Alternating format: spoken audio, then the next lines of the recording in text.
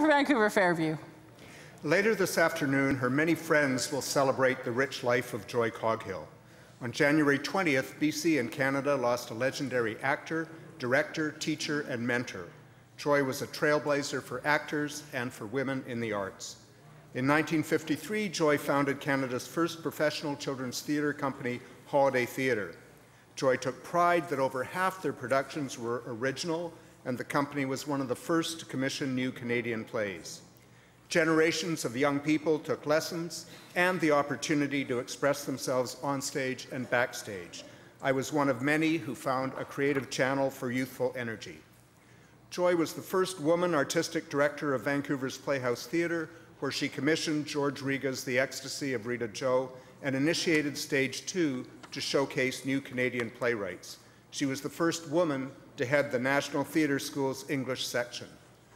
To watch Joy work was to see an inquisitive, experimental, energetic approach to theme.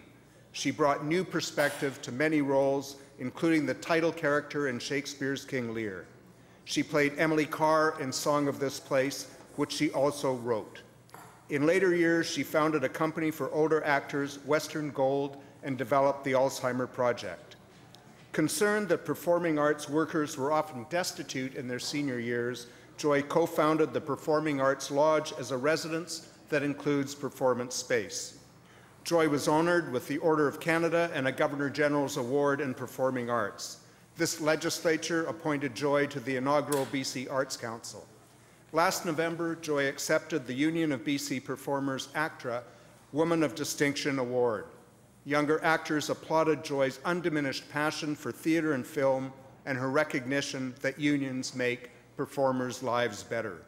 Joy was passionate about both politics and community. In her own words, I really spent my whole life believing that the health of our nation depends on the health of the arts.